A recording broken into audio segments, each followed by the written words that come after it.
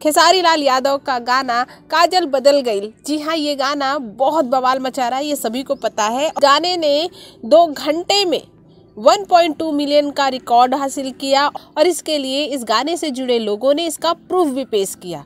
और अब पवन सिंह से डिमांड कर रहे हैं कि भाई, इस गाने से जुड़े लोग, यानी कि पवन सिंह के गाने से जुड़े हुए लोग, अब पवन सिंह के गाने लहंगा लस लस करता का व्यूज़ जो हुआ है ओरिजिनल उसे पेश करें।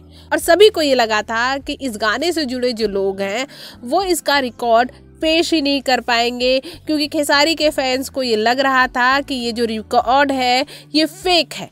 ऐसे में पवन सिंह के जो इस गाने से जुड़े लोग हैं वर्ल्ड वाइड से जुड़े लोग हैं, उन लोगों ने भी एक स्क्रीनशॉट पेश किया कि इस गाने ने महज एक घंटे में आठ लाख से भी ज़्यादा व्यूज़ हासिल किए हैं। यानी कि तकरीबन अगर डेढ़ लाख व्यूज़ और उसमें जोड़ दिया जाता तो ये गाना एक घंटे में ही वन मिलियन क्रॉस कर जाता।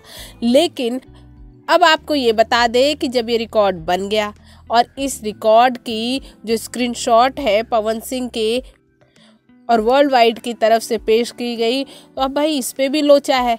लोग ये कह रहे हैं कि ये फेक है। अब भाई कहने को तो लोग ये भी कह सकते हैं कि खेसारी के जो व्यूज़ दिखाए जा रहे वो भी फेक है।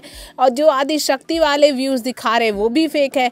अब ऐसे में जब स्क्रीनशॉट दिखाया जा रहा है और आप लोगों को यकीन नहीं हो रहा है तो कोई क्या कर सकता है? वैसे चाहे जो भी हो। हम तो ये कहेंगे, गाने का आनंद उठाइए, लड़ने झगड़ने में क्या रखा है? और वैसे भी व्यूज़ चाहे जिसका भी आगे बढ़ रहा हो, गाने दोनों अच्छे हैं। और लोगों को इंजॉय ना कि व्यूज़ के चक्कर में पड़कर गानों का सत्यानाश करना चाहिए।